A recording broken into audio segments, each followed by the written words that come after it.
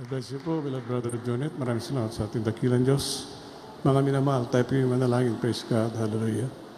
Opo, dakila naming Ama, Diyos, makapangyarihan sa iyong pangalan, aming pinakamamahal na Pangsus. Kami nagpupuring para sa naman sa iyo, Diyos, sa malayang pagkakataon, pinagkalumos mo sa amin. Aming pumapakinggan ng banal na salita. Aming dalangin Diyos, magsilbi ng pagkain ng aming mga kaluluwa. Maging sa amin po mga webcast viewers, malapanganoon, ito mo ang kanilang pag-iisip, wala pa na mapaglingkuran ka at sambahin ka sa Espiritu at katotohanan. Ibalingkod, patnabahin mo ko sapagkat sa akin ay wala kumagawa. At sa iyong makapangyarihang pangalan namin sinasaway, lahat ng demonyo at lang at pagkanilangan ka sa out in the mighty name of Jesus. Hallelujah. Praise the Lord. Pranati dakilang Diyos. Ang pinakamataas sa pagpupuri, pagluhalati, kadakilaan, tao sa pusong pagkasalamat ay nakukulang sa ating dakilang Diyos sa buhay sa ating po pinakamamahal na Panginoon Kristo. At ako'y mabati sa magandang hapon, nagbibigay ng dobleng paggalang sa ating minamahal at iginagawa ng Pastor Evangelista Willis Alameda, ang banal na propeta ng ating dakilang Diyos. Patuloy po natin sinasabi ang blessed memories and teachings of our beloved Assistant Pastor Linus Almeida. Magandang hapon po sa ating po mga beloved sa mga beloved children, children-in-law, grandchildren at great uh, grandchildren ng ating mga pastor, magandang hapon sa ating lahat. Puri ng ating dakilang Diyos. Ang ating pagsaing ngayon, minamahal ko, ang Diyos kong sinasamba. Dalawang libong taon na karaan, minamahal, na nasa krus na bayubay ang Panginoon Kristo, para sa kasalanan ng salibutan, minamahal. Ang sabi niya, Ama ko, patawarin mo sila sapagkat hindi nila alam ang kanilang ginagawa. Lumawak, humaba ang panahon, minamahal. Hanggang ngayon, hindi alam ng mga tao kung ano ang kanilang ginagawa. Kung sino ang kanilang sinasamba. Kaya po minamahal, pagdating sa pananampalataya, pagdating sa relihiyon, Huwag tayong maniwala sa salit, sali, sabi lang ng tao, minamahal ko, kundi ang salita ng ating pinakamamala Panginoon na nakasulat sa Biblia. Makapag-amen ba tayo minamahal? So minamahal ko, ang Diyos kong sinasamba. Basahin po natin, minamahal, upang maging maliwanag sa ating mga kapitbahay kung bakit wala silang makitang Diyos-Diyosan sa bahay panambahan to sapagkat ang sinasamba ng mga totoong Kristiyano ay ang Diyos na totoo, ang Diyos na buhay. Basahin po natin ang unang versikulo, minamal ko. Exodo Kapitulo 20, ang versikulo 2 hanggang 5. Tingnan po natin ang utos ng Panginoon Kristo, minamahal ko. Ang utos ng Diyos sa mga tao kung sino ang kanilang sasambahin. Basahin po natin. Praise God. Dito po sa Exodo 20 talatay 2 hanggang 5, ganito po ang pagkasulat. Ako ang Panginoon mong Diyos na naglabas sa iyo sa lupain ng Ehipto, sa bahay ng pagkaalipin. Huwag kang magkakaroon ng ibang mga Diyos sa harap ko. Huwag kang gagawa para sa iyo ng larawan inanyuan o ng kawangis man ng anuman anyong nasa itaas sa langit o nasa ibaba sa lupa o nang nasa tubig sa ilalim ng lupa. Singko, huwag mong yuyukuran sila o paglilingkuran man sila. Sapagkat akong Panginoon mong Diyos ay Diyos na mapanibughuin na aking dinadalaw at katampalasanan ng mamagulang sa mga anak hanggang sa ikatlo at ikaapat na salit-salin lahi ng mga napopoot sa akin. Amen. Makikita mo natin, minamahal ko, ang Diyos ng sanlibutan, konsintidor. Sapagkat yung ipinagbawal ng ating dakilang Diyos na siloso, ipinagawa sa tao. Kaya anong nangyari sa ating minamahal ko? Ang daigdig, nagkaroon ng karam, maraming karamdaman, nagkaroon ng salot, hindi ba? Natuto ang tao minamahal. Na ito sinasabi nilang karamdaman ngayon, minamahal ko, pasakanya lang ito minamahal ko sa gagawin pa ng Diablo na hindi nalalaman. Ha? hindi nalalaman ng mga tao. Ngunit ang mga totoong Kristiyano, bukas ang kanilang kaisipan sa pagsunod sa kalooban ng ating dakilang Diyos. Kaya po, ang Diyos ay siloso. Huwag ka raw gumawa ng larawan, niyuyukuran sila, ni paglilingkuran sapagkat ang Diyos may karu, magdagkakaroon siya ng poot hanggang sa ika-apat na saling lahi.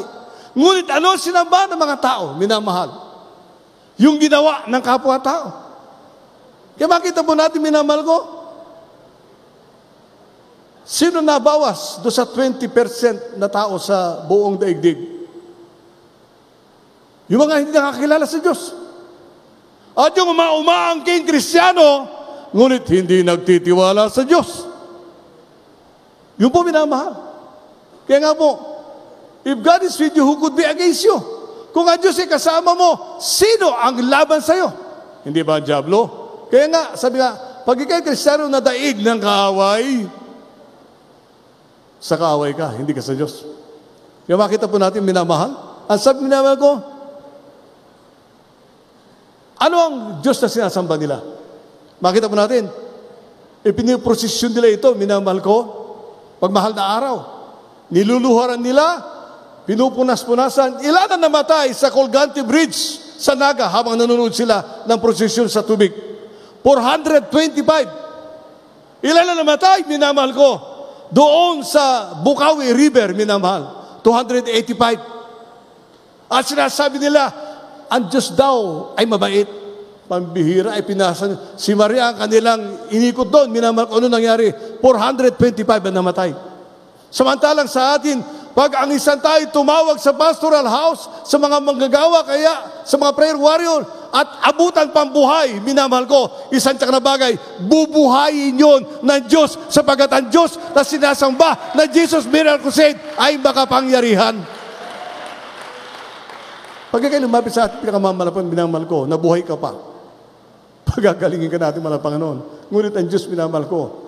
Na sa libutan ito, minamahal ko. Basahin na natin, minamahal ko. Awit 115, dos hanggang 9. Pagkahaba-haba, minamahal ko. Ngunit mabuti yun. Upang mabuksan yung kaisipan ng ating minamahal na kababayan. O maging mga baguhan, minamahal. Dito po sa mga sa aklat ng mga awit, kapitulo 115, ang versikulo ay 2 hanggang 9. Bakit sasabihin ng mga bansa, saan, saan nandoon ngayon ang kanilang Diyos? Ngunit ang aming Diyos ay nasa mga langit. Kanyang ginagawa ang kanyang iibigin. Ang kanilang mga Diyos-Diyusan ay pilak at ginto, yari ng mga kamay ng mga tao. Sila ay may mga bibig, ngunit sila ay hindi nangasasalita.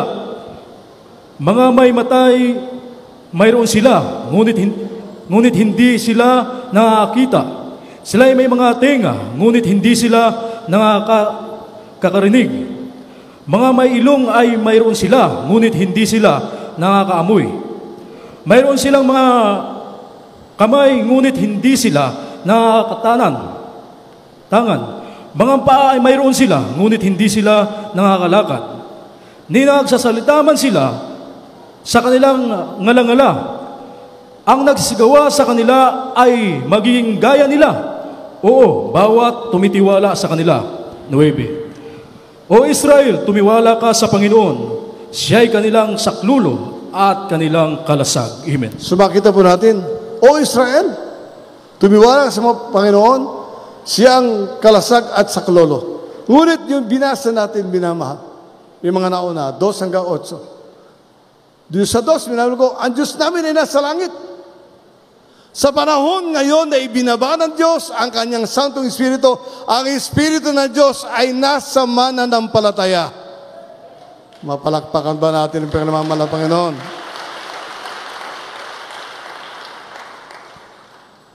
Kuminsan pag ganun ang Espiritu na sa iyo at hindi ka pumalakpak, it's either hindi ka nakikinig o wala kang Espiritu ng Diyos. Ganun po yung minamahal. Kaya nga po maging, nagpunta ka na rin dito, minamahal ko, makinig ka na mainam. Kasi sabi nga, ang maiiwan sa rapture, yung pumupa rito pero hindi nakikinig ng Ebanghelyo. Nakita po natin? Gusto nila makita, ay, dumadalo naman ako. Ganun ba? Kristyano ako. Nakita mo, ang rapture. Wala. naiwan. Bakit? Naki, hindi nakikinig eh. Meron silang ngalangala, meron silang bibig, hindi sila nakapagsasalita. Meron akong kwento minamal ko. Ito para sa atin lahat.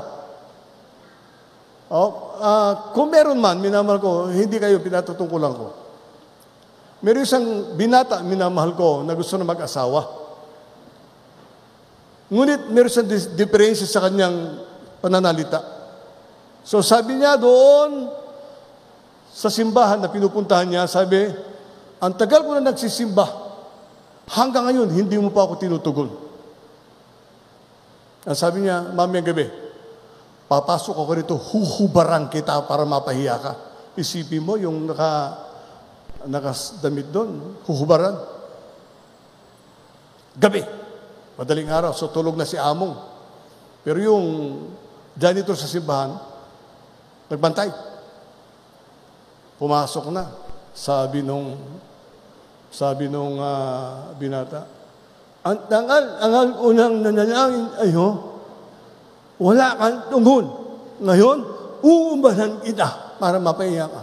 Eh wala namang ari yun eh. Ang tagal ko, ang tagal ko nakatira sa Pampanga, pag tinanggal yung damit, hindi mo malaman kung sino lalaki at babae. Sabi nung janitor, sabi niya, anak, huwag mong gagawin yan.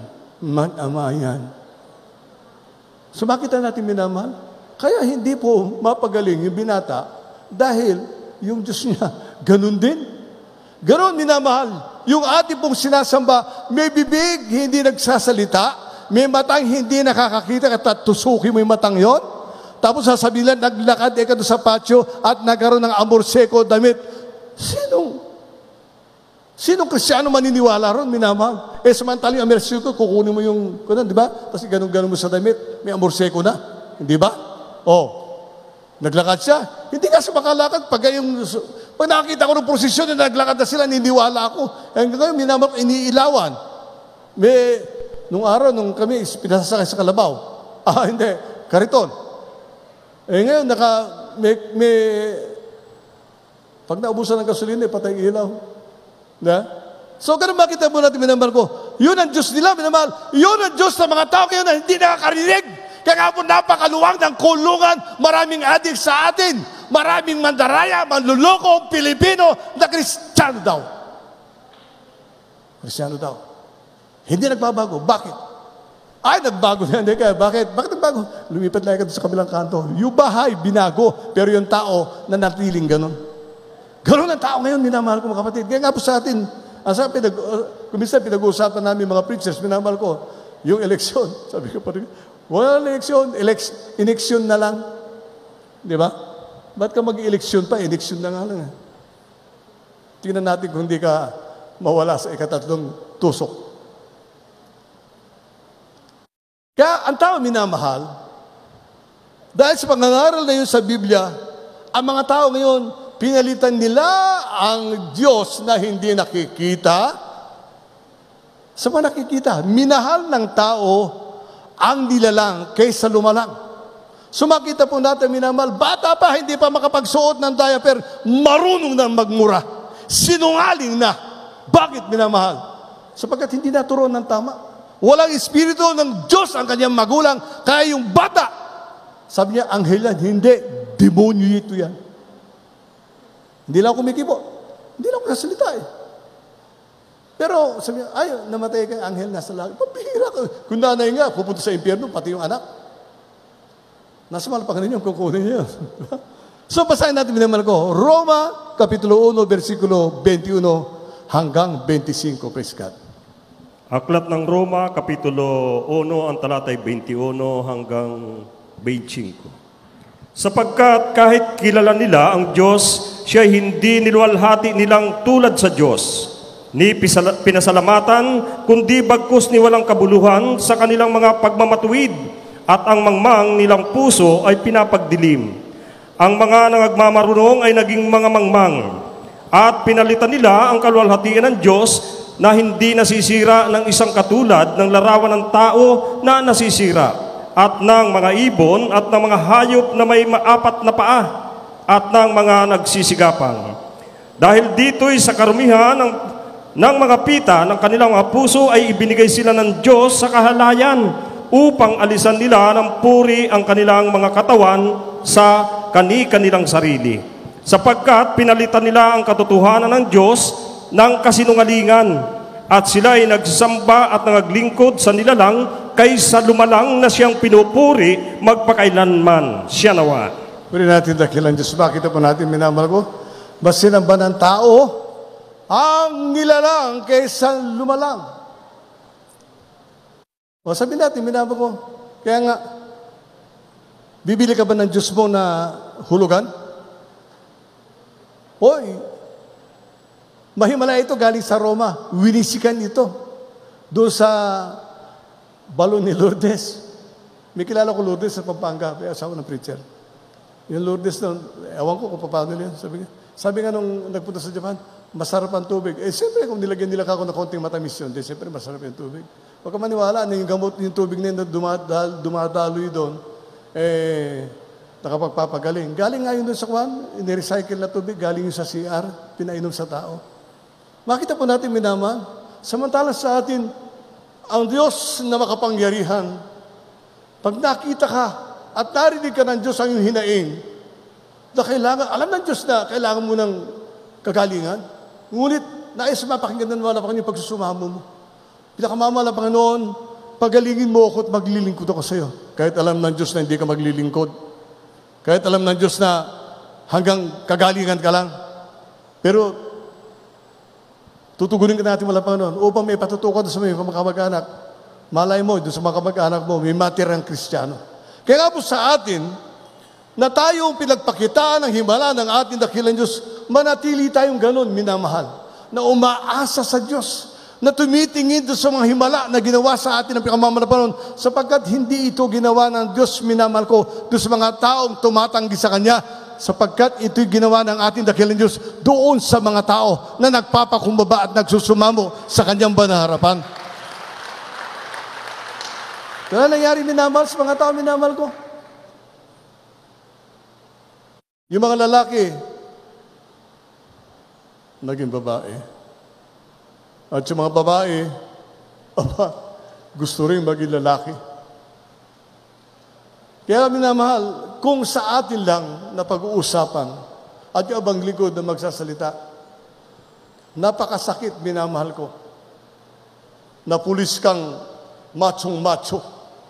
Nung araw na 1950s, 60s, macho-macho kang pulis, tapos lalabas yung anak mo, Siyokoy, ah, Siyoki, magagalit ka. Pero ngayon, pulis yung tatay, yung anak na lalaki may beauty parlor. At least, sabi niya, hindi adi- addict yung anak ko. Hindi nang bababae, nang lalaki lang. Yun ang gusto. Kasi yun daw, beauty parlor nagdadala ng pera. Pag ang anak mo, lalaki, drug addict, baka dukuton ka pa, may isang lapat yung service firearm mo. So, ganun, minamahal. Kaya nga po, kaya ang tunay na ebanghelyo ay dapat ipangaral upang mabuksan ang kaisipan ng mga tao. Kaya tayo magpapatuloy, minamahal, lilipat tayo sa ibang lugar, hindi tinanggap ng mga tao dito ang ebanghelyo ng kaligtasan. Tandaan po natin, minamahal, ang Diyos ang nakakaalam. Hindi ako nagbibigay ng warning sa tao. Ang Diyos ang nakakaalam. Kaya mga tao, minamahal, sabihin po na natin, naniwala ka ba kahit ang ganda ng bihis mo, sasabihin siya matino ka? Hindi, baliw ka. I-correct ko, minamahal ko. Akala kasi ng tao, pag na sumasamba ka sa Diyos, wala ka sa sarili mong katinuan. Sila matino. Ang Diyos sila bagong bili. Ang Diyos nila bagong nakaw. Ang Diyos nila sinanlalang. Pero yung kanilang sinasamba, pinapakain nila ng stork, ng... Ay, kumakain ng donut, yung Santo Niño. Pambira makita, pambira. Hindi pala, hindi pala yung Santo Niño kumakain. Yung bubuwit na daga. Oh, yung Santo Niño, kumakain eh kasi Santo Niño ng paborito niya eh kay donut. Pambira nung makita-kita. Na, hindi si Santo Niño kumakain ng, ng kwan. Donut. Sino? Yung bubuwit natin. O, nakita mo naman? Yung buwit. Himala.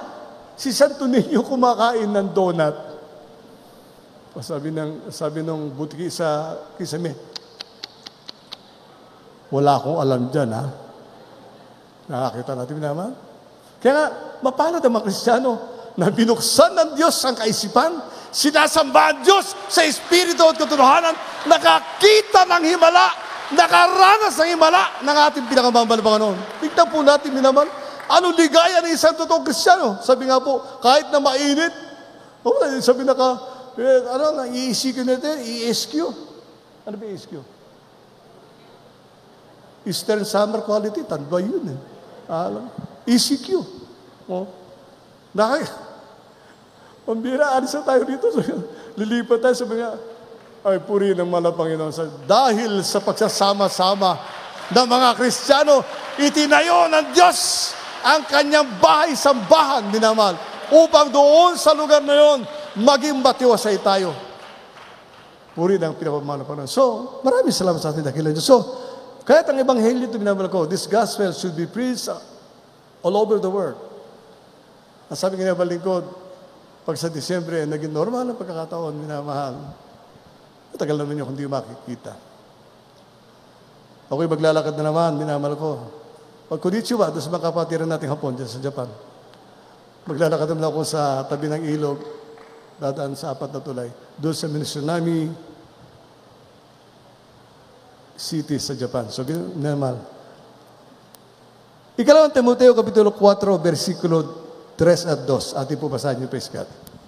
Dito po sa ikalawang Timoteo, 4 talatay 3 at 4, ganito po ang pagkasulat. Sapagkat darating ang panahon na hindi nila titiisin ang magaling na aral, kundi pagkakaroon nila ng kati sa tainga, ay magsisipagbunton sila sa kanilang sarili ng mga gurong ayon sa kanilang sariling mga masasamang pita. 4. At ihihiwalay sa katotohanan ang kanilang mga tainga at mga ibabaling sa katha. Amen. So, ibabaling ni kanilang tenga sa katha. Uy, naghihimala ron. Anong himala? Si Santa Maria, yung nakita natin doon sa doon sa sino dumadaan nung araw doon sa doon sa Caloocan. Sabi ko, sabi ko sa gwardiya, sino nakialam dyan? Eh, eh, eh, parado na repulto. Santa Maria na, buntis. Saan nakita ng rebu? Doon sa Santa Caloocan. Yung kanilang sinasamba rin, hinahawak-hawakan pa yung kamay. Sabi ko, hawakan dito, doon sa lahat. Ba't kamay lang hinahawakan? Pinilipit pa ata ng pulis ko. Tignan po natin. Yung kanilang sinasamba, yung kanilang binibigyan ng importansya. Samantala sa ating minambal ko, itinuro ng banal na kasulatan kung ano ang gagawin ng isang totoong Kristiyano. Ibalingkod, sabi nga, ako ba'y hindi nagkulang? Nagkulang ako. Meron akong kasalanan na nagawa sa harapan ng ating dakilang Diyos. Ngunit humingi ako ng tawad sa ating dakilang Diyos, minamahal. Ano inawit kanina? Forgiven. Ibig sabihin, sa ginawa mong pagkukulang, kahinaan na pagbigyan, pinatawad ka ng ating dakilang Diyos. Right then and there, pinatawad ka ng pinakamamalapangan. Sabagat nais makita ng Diyos, minamahal ko, na isang totoong anak niya ay nagsusumamo at humihingi ng tawad anuman ang pagkukulang. Ang sabi nga, tumingin ka lang sa babae na may pagnanasa, kasalanan mo na. Ngayon, pumunta ka sa SM. Kinakailang magtakip ka ng mata, yung face, yung face mask mo, ilagay mo na dito at magpahawak ka na. Bakit? Kahit na 80 anyos, naka-short.